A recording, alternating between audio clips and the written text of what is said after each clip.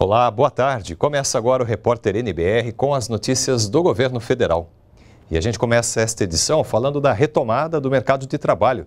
Em janeiro, quase 78 mil vagas de empregos formais, aqueles com carteira assinada, foram criadas. É o melhor resultado para o mês em seis anos. Os dados são do Cadastro Geral de Empregados e Desempregados, o CAGED, e foram divulgados hoje pelo Ministério do Trabalho. Pelas redes sociais, o presidente Michel Temer comentou os dados e disse que a criação de vagas de emprego é um sinal de que o país está no rumo certo e é um forte indicativo de que a economia está de volta aos trilhos. O presidente afirmou ainda que vai continuar trabalhando para criar mais oportunidades a todos os brasileiros. E em Sorocaba, no interior de São Paulo, o presidente Michel Temer também falou sobre a geração de empregos e outros dados que mostram o crescimento da economia. Nesse pouco tempo, nós, nós é, conseguimos na economia isto que todos estão acompanhando, não é? A Bolsa de Valores, por exemplo, que é o maior indicativo de confiança do país, quando nós chegamos, estava em 40 mil pontos. Hoje está em 80, mais de 80 mil pontos a, a Bolsa de Valores. Não é? A, vocês viram o PIB do ano passado, deu 1%, mas nós saímos de um PIB negativo de 3,5%, ao qual se soma esse 1%. E agora, é, com a previsão deste ano, nós vamos a um PIB mais ou menos de 3 ou 3,5%. Agora, quando a gente fala isso, tem que explicar um pouco, né? O que significa você ter uma inflação que estava em 10,28, agora está em 2,6. O que significa ter juros de 14,25 e hoje está em 6,75. Qual é o significado disso para o povo? Significa que o salário está valorizado, significa que os preços de alimentos caem, porque não tem como uh, aplicar, digamos, critérios inflacionários. Então, eu tive muita sorte da economia. Ah, ah, vocês têm observado, quando eu falo assim, neste ano nós vamos ter mais ou menos de 3 a 3,5%, choras prefeitos e prefeitas. Ah, a previsão é que nós temos abertura neste ano de mais de 3 milhões de postos de trabalho, como tivemos agora, neste último trimestre, Crespo, a abertura de 1 milhão e 800 mil novos postos de trabalho. Evidentemente, depois de tirar o país de uma recessão extraordinária. Indicado pelo ministro Raul Jugman, o delegado da Polícia Federal, Rogério Galouro, tomou posse como diretor-geral da corporação. Na cerimônia, Galouro defendeu a necessidade de maior integração entre as instituições de combate ao crime e garantiu reforço para a equipe da Operação Lava Jato. Na posse, Rogério Galouro disse que a Polícia Federal vai continuar forte, inclusive nos trabalhos da Operação Lava Jato. Ele ressaltou que o Ministério Extraordinário da Segurança Pública e a Polícia Federal vão trabalhar juntos no combate ao crime organizado. A Lava Jato continua forte. A equipe do GINC continua íntegra. E desde já reafirmo o compromisso do ministro Jungmann de reforçar essa equipe. Quanto ao futuro da PF, é impossível concebê-lo sem considerar a necessidade de aprofundar a integração interinstitucional contra o crime. É condição basilar de provimento de segurança pública. O crime não é e não será mais forte que o Estado brasileiro.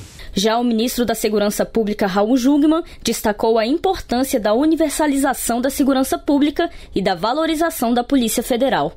Temos que entender que a autoestima do policial, do técnico, do papilocopista, seja de quem for, do perito, é fundamental para esse trabalho.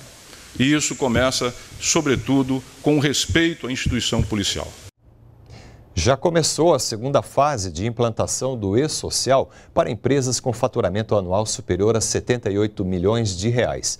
Nesta etapa, os empregadores devem incluir no sistema dados referentes aos trabalhadores, como admissões, afastamentos e demissões. Na primeira fase de implantação do e-social, que terminou no dia 28 de fevereiro, mais de 12 mil grandes empresas enviaram as informações ao sistema. Aquelas que não cumpriram o cronograma da primeira fase devem enviar as informações, mesmo que em atraso. Ele traz benefícios para o governo, que passa a ter informações de mais qualidade, né, que vai permitir com que ele, ele planeje políticas públicas muito mais assertivas, né, com dados qualificados. é, vai facilitar a fiscalização dos processos trabalhistas, previdenciários e tributários. As empresas terão redução significativa de custos, pois hoje elas estão obrigadas a, transmitir periodicamente 15 informações para os órgãos de controle. Isso tudo vai ser substituído gradualmente pelo E-Social, começando pela GFIP, já em julho, agora para os grandes contribuintes, já será desonerado dessa, dessa obrigação. Então serão 15 ao longo do processo, isso é uma redução significativa de custos e de tempo para as organizações. E também o trabalhador passa a ter vantagens com isso, porque o cadastro, as informações dos vínculos trabalhistas dele, serão muito mais transparente, ele vai ter informação uh, completa uh, de uh, o que todos os órgãos terão controle sobre a relação trabalhista dele. No segundo semestre, a adoção do E-Social passa a ser obrigatória para os demais empregadores privados, incluindo micro e pequenas empresas e microempreendedor individual. Órgãos públicos e estatais começam a implantar o programa em janeiro do ano que vem. A Agência Nacional de Vigilância Sanitária, Anvisa, aprovou um novo medicamento para tratar pacientes com as formas mais agressivas de, da esclerose múltipla.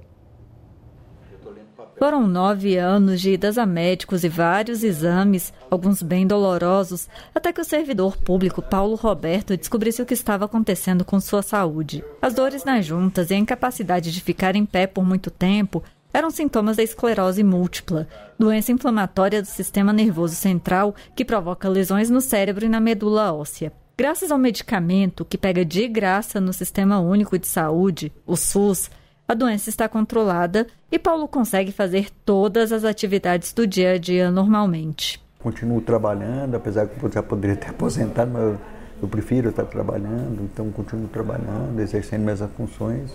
Estima-se que 15 a cada 100 mil brasileiros, assim como Paulo Roberto, convivem com a esclerose múltipla no Brasil. E agora eles têm mais um medicamento para ajudar no controle da doença.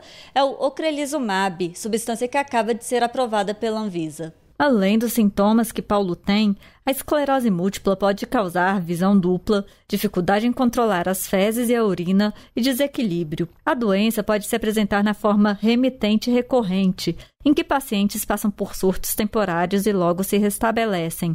Mas também pode vir em formas mais agressivas, com sintomas e sequelas que aumentam a cada dia.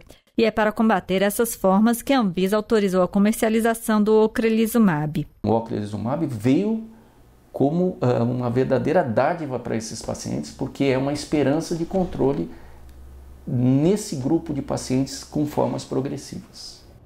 O Ministério da Saúde estima que 15 mil pacientes com esclerose múltipla estão em tratamento no Sistema Único de Saúde.